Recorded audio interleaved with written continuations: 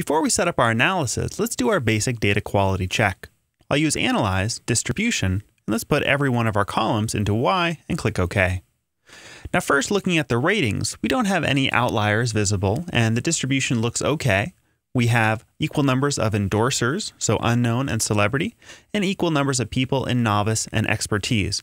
Now, for the between subject factor, this might be something we purposefully did. We actually maybe recruited subjects, half of which were novices and half of which were experts. That would be ideal for the analysis that we're doing, but it's not necessary. As far as endorsers, because this was a within subject factor, we assume that we have complete data here. That is, each subject made one rating for unknown and one for celebrity. So we have two ratings for each subject, so we should have an equal number of observations that are unknown and celebrity in the dataset. Now remember, expertise is a between subject factor, so if I click on novice here, notice that only some subjects will count in the novice category.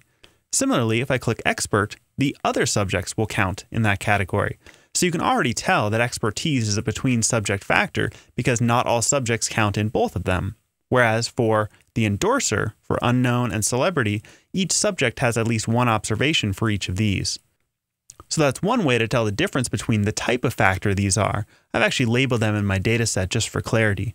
Now, this is something you can do in your own data, especially when you're first starting out. It's actually handy to put a little b if you know that's a between subject factor, and a w if you know that's a within subject factor. That just makes it easier when you're actually setting up your analysis.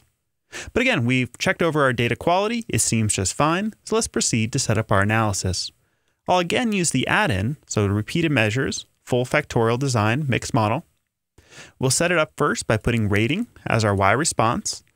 Now our within subject factor or factors here will just be one. We'll have endorser as our within subject factor.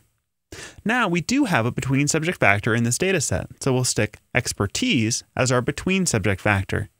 Notice we're not going to designate a cross between these two. The add-in will do that for us because we've measured individuals who are experts and novices on both of the within subject levels. So we'll be able to estimate an interaction between these two. That's actually a really neat thing about our analysis here, is we'll actually be able to see whether the endorser effect, celebrity versus unknown, is different for experts and for novices. Finally, we'll designate our subject ID as subject number, and we'll just click that into that role. So here it is, our model is completely set up, and we can just click OK, and the add-in will take care of developing the model, including the nesting.